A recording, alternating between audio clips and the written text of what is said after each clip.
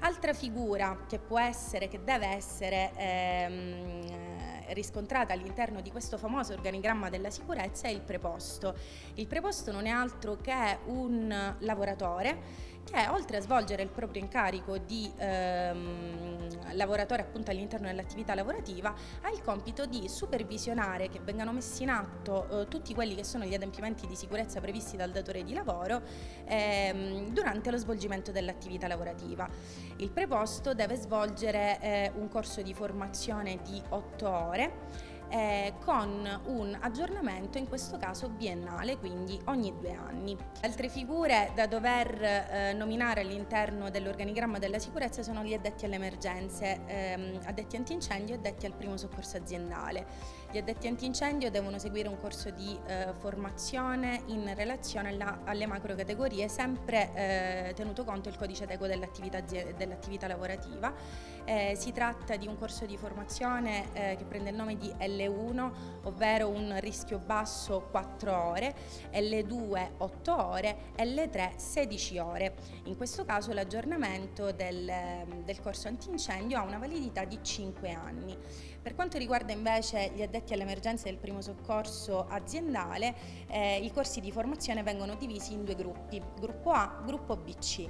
Il gruppo A eh, prevede un corso di formazione di 16 ore, mentre il corso BC, il gruppo BC prevede un corso di formazione di eh, 12 ore, in questo caso con validità triennale.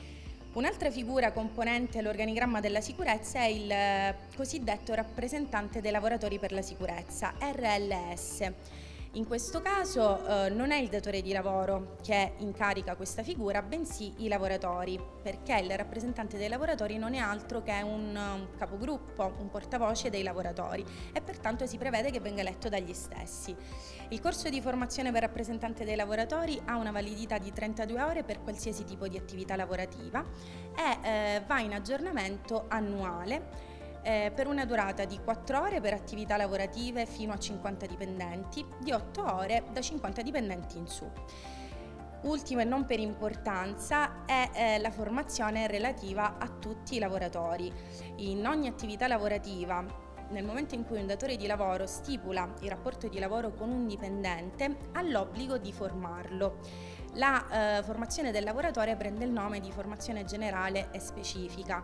È una formazione ehm, che tiene conto dell'attività lavorativa che dovrà prestare il lavoratore all'interno del, del, ehm, del, luogo di lavoro. Ehm, è una formazione che si suddivide in macro categorie, rischio basso, rischio medio e rischio alto. Eh, il rischio basso prevede una formazione di 8 ore, il rischio medio di 12 ore, il rischio alto di 16 ore. Eh, anche in questo caso si prevede un aggiornamento ehm, con validità quinquennale, tenuto conto che la normativa comunque ci richiede un aggiornamento anche al di sotto dei 5 anni eh, nel caso di cambio mansione per esempio, piuttosto che nel caso di implementazione di nuove tipologie di attività lavorative o di nuove attrezzature, semplicemente perché quello che vuole la normativa è che il lavoratore che deve svolgere un'attività lavorativa deve conoscere i rischi ai quali può essere esposto, ma soprattutto le misure preventive e protettive che devono essere messe in atto per far sì che venga raggiunto quello che è lo scopo della sicurezza nei luoghi di lavoro, ovvero quello di ridurre al minimo o, se possibile, eliminare l'insorgenza di infortuni e di malattie professionali.